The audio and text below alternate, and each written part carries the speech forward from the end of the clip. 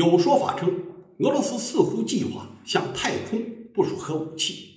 普京声称，这是拉拢俄方加入只对美国有利谈判的炒作。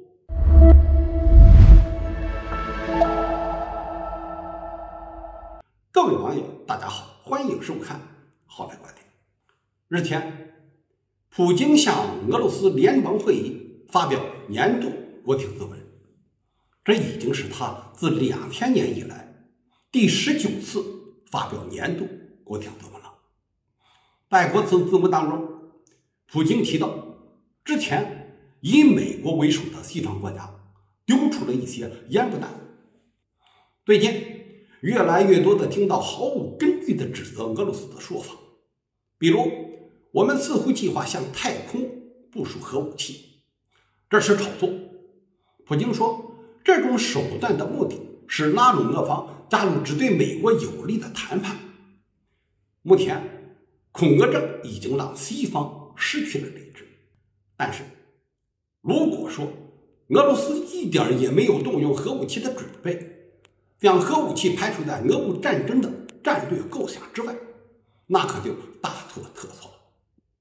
在今天的国情咨文中，普京表示，俄罗斯的战略核力量处于全面的准备状态，锆石高超音速巡航导弹和匕首高超音速导弹都已经在特别军事行动当中投入实战，萨尔马特洲际导弹也已经交付部队。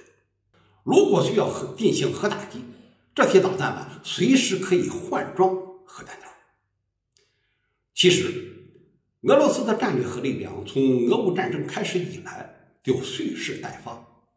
二零二二年十月，在俄乌战争前夕，俄罗斯就搞过核武器的军事演习。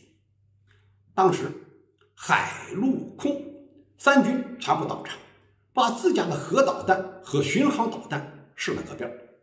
普京对测试结果非常满意，战略轰炸机和核潜艇都具有从海上对北约国家进行核打击的能力。这场演习就是在警告北约，别以为俄罗斯怕你们的核武器，你们要是敢过线，我们就敢跟，到时候直接把厂子拆了，谁也别落着好。那么，俄罗斯是否会率先动用核武器，或者说？如果俄乌战争的态势向着北约方面倾斜，那么俄罗斯是否会动用核武器呢？前几天，梅德韦杰夫就宣称，如果乌克兰实现了战争目标，打回到一九九一年的俄乌边境，俄罗斯将会使用核武器。但是，普京作为一个国家的领导人，在这种问题上，呢肯定比较慎重。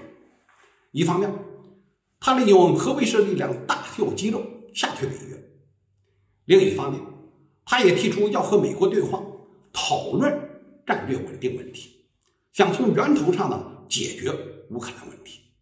看得出来，普京更希望把核武器当做外交而非军事的筹码。毕竟，现在不是中世纪，战争呢也不会以一方对另一方的军事占领作为结束。而普京之所以现在还在打，前段时间呢又花大力气攻下了阿夫迪夫卡，这既是在给他自己增添筹码，也是在等一个更好的谈判对象。大家应该明白，这个人呢就是川普。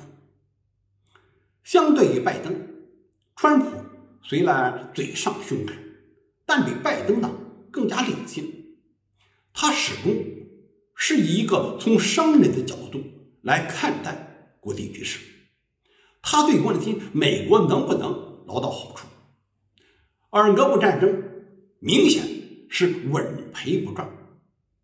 一天，川普呢就发表过一条评论，他说：“北约国家要是不在国防上投入足够的开支，他就不会管他们是不是被俄罗斯入侵。”因此啊。